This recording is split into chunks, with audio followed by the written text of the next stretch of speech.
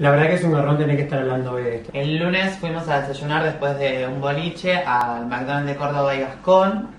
Y ahí nos encontramos con un chico que nos empezó a insultar, insultar, insultar. Y no paraba más hasta que en un momento agarró un vaso de gaseosa, nos, lo tiró por la cara.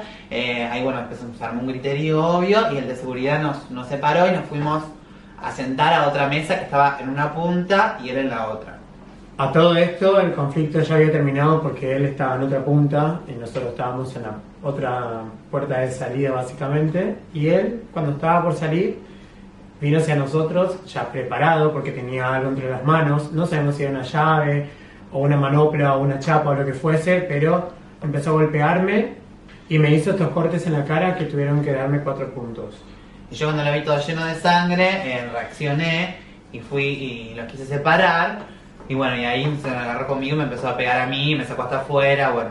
Y hasta que en un momento yo me caí al piso, me caí arriba de las piernas, me respetó las rodillas y ahí no sé quién, alguien lo sacó y se lo llevó y bueno, yo ahí recién. A todo esto yo no pude reaccionar porque la cara tenía llena de sangre, al lado del ojo sangra mucho. Me desvanecí, lo único que recuerdo es que estaba en el baño y unos chicos me ayudaron. Lo importante es que ya la denuncia está hecha, está en manos de nuestro abogado, el doctor Roberto Castillo, en la Unidad Fiscal Norte. Sí, y queremos decirles que por favor, si alguno estuvo ese día presente en el MAC que, y quiere darnos una mano con la causa, que no, se comunique con nosotros.